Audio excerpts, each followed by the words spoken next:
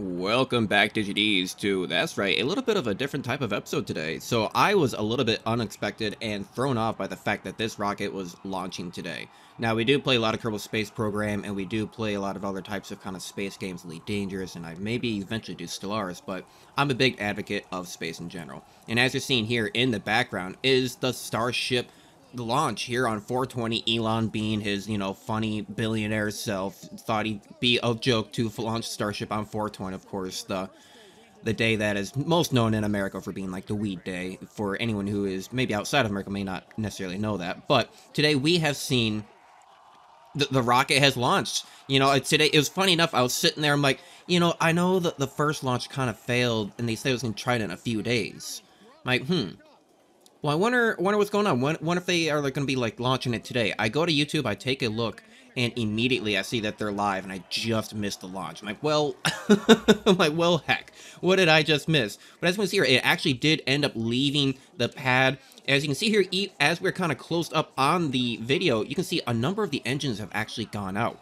And now what we believe that to maybe be is that it kind of has a central like control unit, like electrical system or like hydraulic unit. I believe this is the last starship that is going to be using hydraulic units for its actuators for the engines um, in a sense of like how they move around, how they point, how they swivel around on their axis. Right now, they're all hydraulically driven, meaning that you know it's all pushing liquids around that can leak and and whatnot. And some of them can fail, and I think that when they fail and they can't get the correct vectoring, they end up shutting out the engine, or they can like hit other bell nozzles stuff that turn out sections. So you saw that a few of them kind of went out on one side.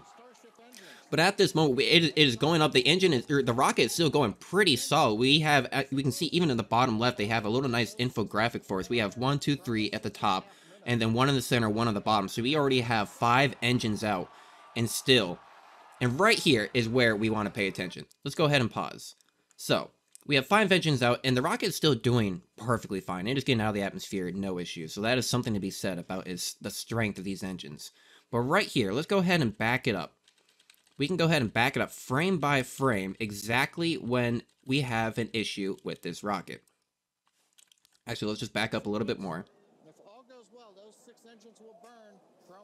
Wait for the moment. We see that we get some good camera views coming in. We get a good rocket, and as soon as we go to this section here, where we can look at the inside of the bell nozzle in between the two separations of the stage, suddenly we have a lot of smoke. Now, Starship separates its stages, I believe, by a hydro. I don't. They're not hydraulics. I believe they're just latches. I, don't know exactly how the latches are driven. I don't know if they are driven by hydraulics, if they're driven by electronically, or if they're like explosive bolts. But as we can see here, the latches did not detach, and we see a lot of smoke of either entered air, maybe there's a leak, something is being bursting open, or it could simply just be the air kind of just rushing in as the stage kind of separates. As you can see here, you start getting a little bit of sunlight coming in off the hand, off to the side, and more sunlight starts shining in off to the side as well. And this is when you can see the rocket starts to tip over and starts to tumble. At that point, the stage was supposed to separate, and that's why they they kind of swap to the to the stage separation view to get the you know, get get the camera angle of the two stages separating. They swap to it exactly at that moment, and now we see the rocket kind of tumbling. So what was supposed to happen, it was going to separate, the second stage is going to, you know, technically the top stage is going to go on forward, and the second stage here is supposed to do a flip like it's doing now. Now, it should be noted, let's take a moment and pause. This is all kind of like an emergency review. I, I was so caught off guard by this rocket launching, and I saw it, and I'm like, okay, immediately I got to make a video on this to see if I'm just going to make my predictions now what went wrong. So I think what necessarily went wrong is that first we know that it was supposed to separate at that point. At that point, this bottom stage is supposed to flip around as we can see it kind of doing now. It's a little blurry in this video, it's very far away, but it's about halfway turned around sideways horizontal because it's supposed to do a flip around and then, you know, retrograde itself, kind of touch softly back down in the water. I don't know about how softly, but it was going to touch down in the water and just kind of, you know, land in as it's doing his flip back here, is having trouble doing that simply because the top stage is still attached. So what should be noted here is two important things. One, is that this rocket is still held together.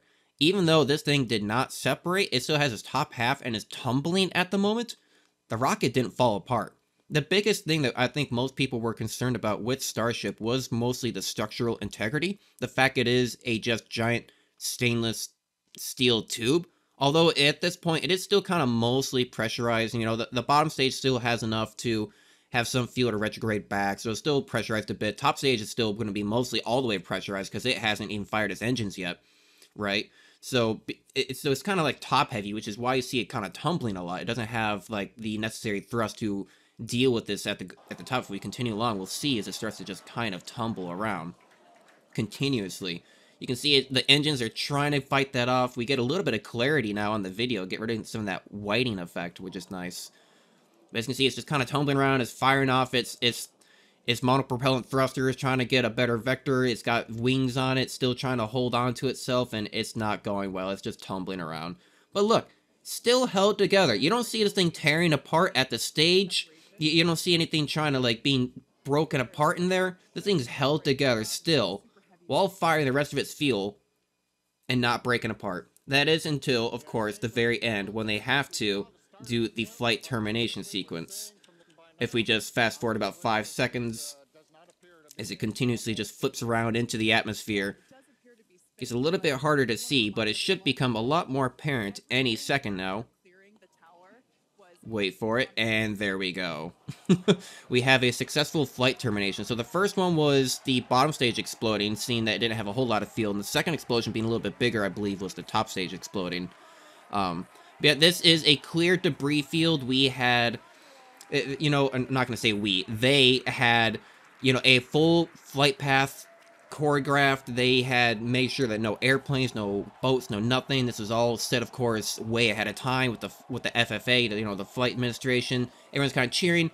We're all glad enough that it even got off the pad, right? We're all glad that the rocket even got off the pad, which is amazing. We some of us were worried that it was gonna, just going to blow up before even leaving the launch pad, or you know, the launch tower, and blowing up the whole facility, right?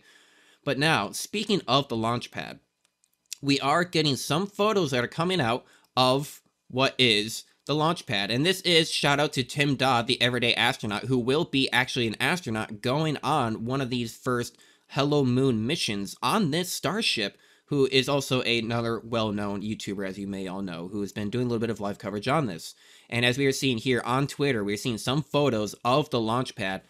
That there is the result afterward, which we are a little bit worried about because if this perhaps like kind of shifted the entire launch pad a couple of degrees, if it took out enough debris, if it damaged the sediment, like the, the hard, over time laid down sediment of the ground, it, it could be a real issue. This could be like months of rework. You know, who who knows how much damage actually was done to this launch pad. It's looking very scorched. Some parts are looking blown off. It's not even talking about the pad itself.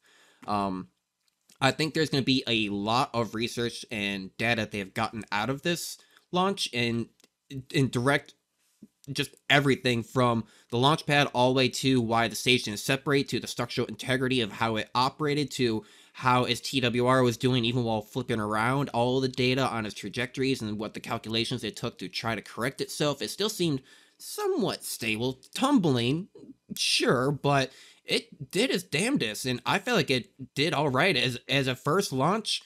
This thing is the one of the largest rockets ever, the most thrust ever, the most rocket rockets in general. I think it has what 32 or 33 rockets all firing at the same time, just blowing this pad apart.